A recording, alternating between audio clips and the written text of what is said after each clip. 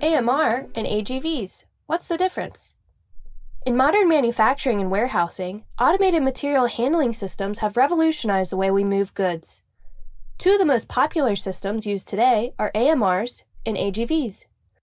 But what exactly are they and what sets them apart? What is an AMR? An autonomous mobile robot is a robot that uses sensors to move autonomously, meaning it moves around without a manual guide or marker. In the environment, it can learn and map the surroundings, know where it is located, and dynamically plan its own routes. What is an AGV?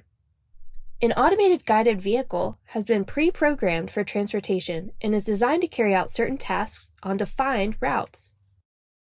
The key difference between AMR versus AGV is AMRs can maneuver around obstacles on their own while AGVs cannot.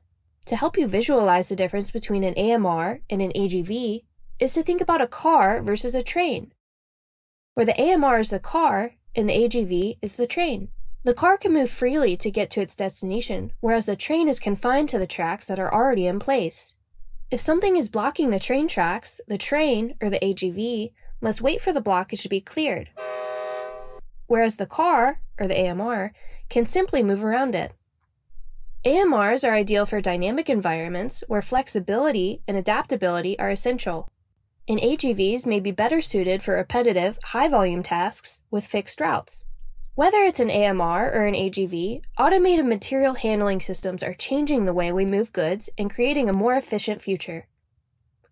To learn more about automation in warehousing and distribution, visit hy-tek.com.